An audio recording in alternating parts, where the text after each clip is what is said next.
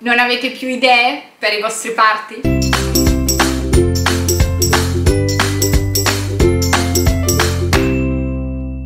In questo video ve ne mostro una velocissima. Sono qui su Crica Design Space ma poi andrò anche su Silhouette Studio a seconda del plotter da taglio che avete a disposizione. Quindi cominciamo subito a progettare il nostro cono o per meglio dire il nostro eh, fagottino. Quindi andiamo a far clic qua sul pulsante forme. Io vado a scegliere un quadrato quindi uno di questi normali non con i bordi arrotondati e eh, vado a far clic qua su questo lucchetto per sbloccare le proporzioni. E vado a mettere una dimensione di 9,5 per 21 cm questa è una dimensione media ovviamente potete cambiarla a seconda di ciò che volete inserire all'interno. Eh, temporaneamente mettiamolo di colore bianco così riuscite a vedere meglio ciò che sto facendo. Ora seleziono questo rettangolo e faccio clic su questo pulsantino che si trova in alto che serve per duplicare. Quindi lo duplico sblocco nuovamente le, eh, le, mm, il lucchetto per modificare le proporzioni e vado a mettere una dimensione lascio sempre 9,5 ma metto 8 di altezza e vado a posizionarlo qua.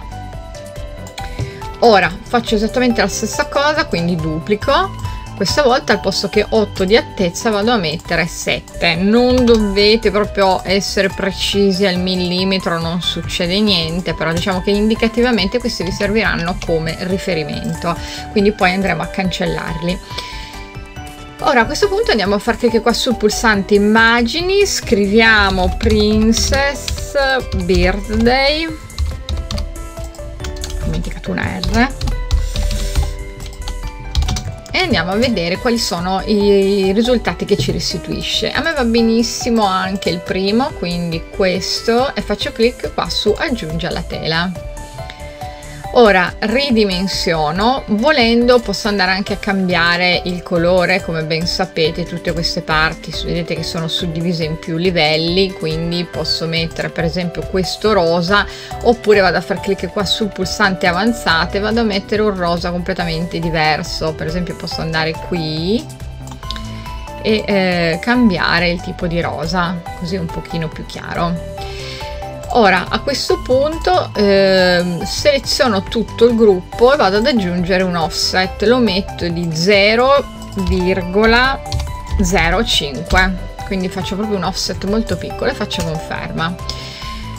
Ora a questo punto temporaneamente li raggruppo quindi seleziono questo che come potete notare è già un gruppo. Seleziono poi l'offset e faccio clic qua sul pulsante raggruppa ora vado a ridimensionare e lo ruoto quindi dovete mettere il mouse qui e lo ruotate in questo modo. Come sempre per fare una rotazione precisa dovete mettere 90 gradi. Quindi vado a ridimensionare così. Ah, vado a farlo tutto ingrandisco un po' così riuscite a vedere meglio.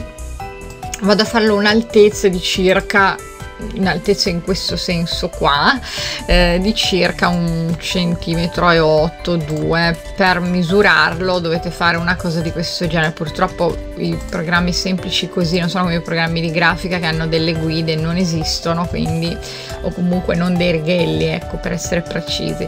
Quindi così più o meno avete idea ecco di quanto può essere ehm, la distanza diciamo dal margine ehm, potete centrarlo eh, quello che vi consiglio di non metterlo proprio eccessivamente largo perché comunque poi si andrà a restringere una volta che andiamo a chiuderlo e ad assemblarlo quindi non fatelo largo come abbiamo fatto largo il nostro quadrato.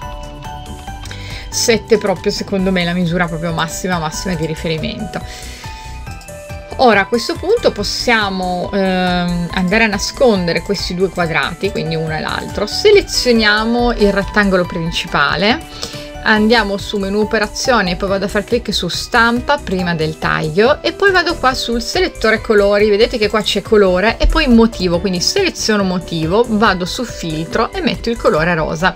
In questo modo Cricket Zenny Space per primi mm, mi andrà a mettere eh, tutti i motivi di colore rosa. Io vado a cercarne uno che sia molto semplice tipo questo che non disturbi più di tanto quindi posso mettere o questo che è chiaro chiaro questo che è un po' più scuro. Secondo me questo è già un po' scuro ve lo faccio vedere. Ecco vedete che è comunque tanto scuro per la grafica che stiamo facendo è meglio questo che è un pochino più chiaro. Mm, vedete che ehm, anche esteticamente diciamo sta meglio. A questo punto devo solo far clic qua su seleziona tutto e poi unisci i livelli. E basta il mio progetto è terminato. Se vado a far clic qua sul pulsante crea eh, mi dà l'opzione stampa prima del taglio. Ovviamente in questo caso devo andare a mettere A4 eh, oppure posso anche mettere A3 e vedere se è possibile. Per esempio se voglio mettere due copie ecco vedete che su una 3 due copie me le fa mettere. Probabilmente la, dobbiamo vedere se la terza ci sta ecco la terza proprio al limite però ci sta. Quindi eventualmente se avete dei fogli A3 di un certo tipo potete usare eh, allora se avete una stampante laser una carta patinata eh, lucida se non avete una stampante laser una carta fotografica da 120 grammi.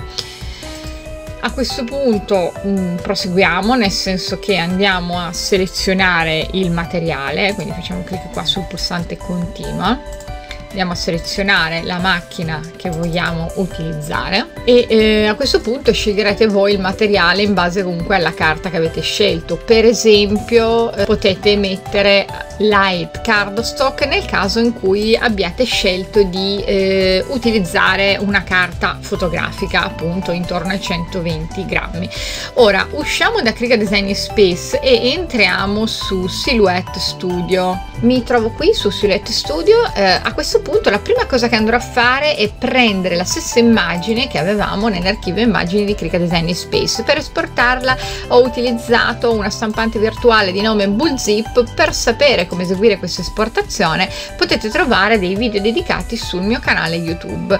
Vado a far clic qua su questo pulsantino, questa icona a forma di cartella e apro il file che è stato generato appunto da questa stampante virtuale. Ora mi viene aperto, come potete notare in realtà mh, mm, mi è stampato tutto il foglio, non solo questo pezzettino, quindi dovrò andarlo a eliminare. Ingrandisco bene facendo clic qua sulla lente che trovate eh, in alto. Ora vado a far clic qui su apri finestra tracce, poi faccio seleziona area della traccia quindi vado a selezionare tutto intorno alla mia scritta ad esclusione dei crocini di registro vado a far clic qua su soglia e aumento la soglia indicativamente così poi vado a far clic qua su traccia scollega. Ora andiamo a togliere prima di tutto il riquadro che non ci occorre facciamo così. Qua alcune parti vedete che sono separate quindi faccio clic con il pulsante di destra e faccio raggruppa. Ora vado a copiare praticamente quindi faccio sempre clic con il pulsante di destra e faccio copia e torno qua nel mio eh, documento. Allora per le impostazioni del documento dovete far clic qua su apri finestra pagina degli strumenti. Mm, inserite prima di tutto la macchina che avete a disposizione. Io ho una Cameo 4 normale. Tipo di feed lasciate manuale. Ehm, Cameo eh, come tappetino mettete o 30 per 30,5 che sarebbe quello corretto. Io vado a usare quello per 60 ehm, e poi come dimensione mettete il foglio che avete a disposizione. Io ho una 4 e quindi a questo punto chiudiamo qua e vado a incollare. Quindi incollo questo. Ora chiaramente devo guardare anche se le dimensioni più o meno sono corrette, prima però vado a fare il rettangolo come ho fatto su eh, Click Design Space, quindi dovrò andare a fare un rettangolo. Ehm, qua controllate che il lucchetto in questo caso sia sbloccato un po' come abbiamo fatto su Click Design Space e mettiamo un'altezza di 21 cm per eh, 9,5 ed ecco qua. Adesso esce un po' fuori ma poi faremo la rotazione. Adesso per comodità diciamo lavoriamo in questo modo ora una cosa buona di Silhouette è che um, Silhouette Studio ce l'ha in realtà le guide. Quindi vedete che qua ci sono i reghelli? Quindi se io volessi mettere una guida a una determinata altezza posso fare semplicemente così e eh, praticamente mi dice qual è l'altezza della guida che vado a inserire. Quindi dovete mettere a 8 centimetri. È chiaro che così non è semplicissimo perché io adesso sto lavorando fuori dall'area. Però in linea di massima dovete semplicemente fare una cosa così. Mettete prima una guida poi una seconda guida giusto per farvi capire io su Cregaseni spesso ho fatto siccome non ho le guide ho fatto una cosa di questo genere. Avevo questo rettangolo quindi sono andata a duplicarlo in questo caso il comando duplica di silhouette qua e sono andata a metterlo al posto di un'altezza di 21 cm il primo l'ho messo di altezza 8 e quindi ho fatto una cosa di questo genere qua. Quindi in pratica diciamo che la guida precisa dovrebbe essere qua in sintesi. E poi il secondo eh, ho duplicato di nuovo questo e il secondo praticamente l'ho messo a un'altezza di 7 centimetri. Quindi qua dovrei mettere 7 cioè questo è il lavoro in pratica che io ho fatto su Cricut Design Space. Mentre come vi dicevo su Silhouette Studio potete andare a, a, a inserire diciamo le guide in un certo modo eh, Birthday l'ho messo qua. Adesso andiamo a ingrandirlo un pochino semplicemente. Comunque sono andata a inserirlo qua sostanzialmente. Ora è chiaro che così non posso andare a stampare in questo modo. Vedete? Perché se io stampo in questo modo ehm, ovviamente mi esce direttamente mi esce proprio fuori dal tappetino. Quindi dovrei andare a selezionare tutto temporaneamente almeno. Faccio clic con il pulsante di destra e poi faccio raggruppa poi devo andare a ruotare praticamente quindi faccio così su questo pallino verde e ruoto per la rotazione perfetta anche in questo programma così come praticamente tutti i programmi. Dovete premere il pulsante shift. Ecco allora che vado a inserirlo in questo modo. Le guide posso ovviamente in questo momento anche toglierle faccio semplicemente così Ora, a questo punto possiamo fare clic sul pulsante invia. Attenzione però a una cosa importante, se siete abituati a Click Design Space, con Click Design Space il comando raggruppa in fase di taglio assolutamente non serve a niente, mentre qua sì. Vi faccio vedere cosa accade se vado a fare invia così. Se vado a fare invia così, vedete io posso mettere cosa ritagliare e cosa non ritagliare, vedete? Però se eh, io adesso qua volessi non ritagliare solo la scritta e faccio clic qua su non ritagliare praticamente essendo un gruppo tutto non me lo fa ritagliare. Quindi vado di nuovo a far clic qua su disegno e adesso devo fare separa. Cioè usate il raggruppamento solo per fare la rotazione. Ora se faccio di nuovo clic qua sul pulsante invia io vado a selezionare praticamente quest'area qui quindi solo quella esterna e faccio taglia. Ed è solo quella esterna questa invece eh, metto non ritagliare cioè quindi lascio così. Chiaramente questi qua quindi se vado a far clic qua su disegno questi rettangoli in più li dovrò andare a togliere. Quindi faccio di nuovo clic qua sul pulsante invia ed ecco qua. Così è pronto per il taglio. A seconda del tipo di carta che volete utilizzare come per quanto riguarda Click Design Space potete scegliere qua mm, se è una carta eh, fotografica eh, chiaramente allora mh, mm, la carta per fotocopie eh, media secondo me non va tanto bene per una carta fotografica. Mm, dipende ripeto da, dal tipo di carta che andate a utilizzare però ehm, in linea di massima potresti utilizzare cartoncino sottile. Secondo me tra tutte le impostazioni che ci sono è quella con cui mi trovo meglio perlomeno con la carta fotografica che ho a disposizione io.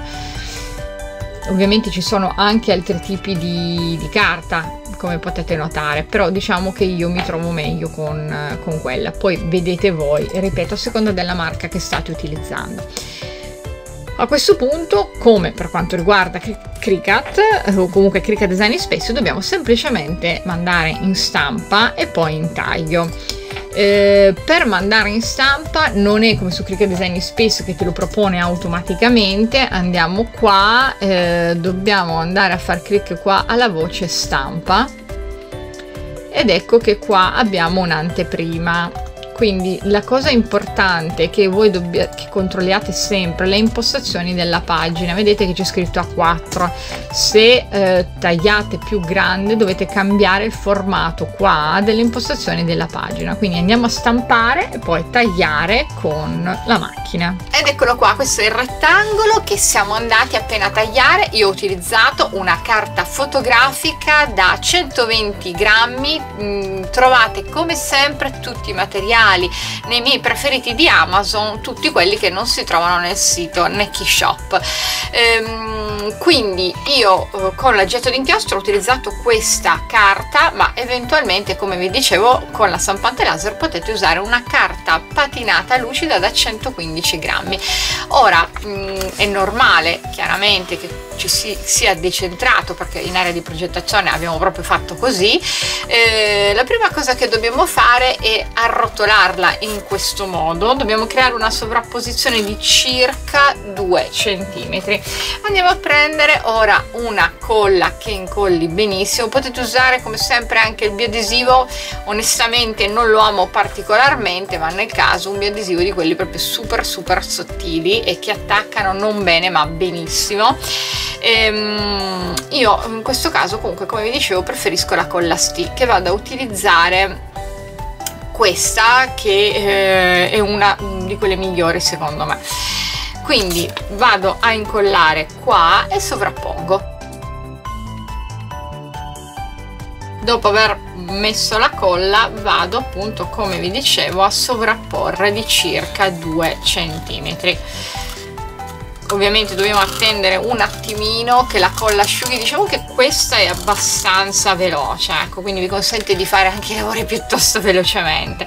A questo punto dobbiamo andare a piegare il nostro fagottino. Attenzione a come facciamo la piega quindi la prima dobbiamo farla in questo modo così ecco quindi dovete premere in questo modo un po' come quando eh, fate un sacchetto di patatine. Chiaramente andiamo sempre a incollare andando ad applicare la colla qui all'interno. Dopo aver incollato dobbiamo fare una cosa di questo genere. Andiamo a prendere delle caramelle dei dolcetti insomma vedete voi quanti ce ne stanno a seconda di quanto sono grandi eh, e eh, dovete però questa volta piegare dall'altra parte quindi qua avete piegato dritto diciamo e qua invece lo fate in senso contrario in modo da ottenere una sorta di triangolino fagottino come vi dicevo. Quindi andiamo a mettere anche la colla all'interno. Mi raccomando potete mettere solo cose confezionate. Chiudete bene che sia vedete perfettamente allineato.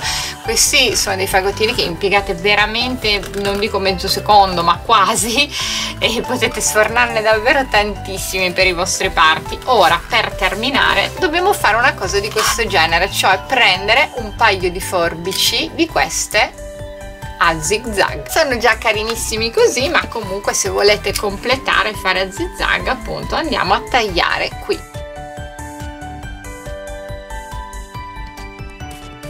ed eccolo qua guardate il risultato quanto è carino. Chiaramente se volete potete fare con le forbici a zigzag anche nella parte di sotto. Quindi ripeto potete eh, realizzarne davvero tantissimi in pochissimi minuti quindi ovviamente anche il prezzo chiaramente relativamente basso. Mm, vi consiglio di proporli per i vostri parti spero che il tutorial vi sia stato utile come sempre vi ricordo che potete utilizzare tutti i codici sconto che trovate in descrizione che potete iscrivervi al canale youtube mycricat al sito internet www.mycricat.it, alla piattaforma corsi mycricat.it slash corsi cricat e soprattutto potete acquistare file digitali su mycricat.it slash negozio. E infine vi ricordo che ci sono dei corsi. Se volete avviare un'attività che vi insegnano come guadagnare con il vostro plotter da taglio andate su Patreon al profilo Stefania del Principe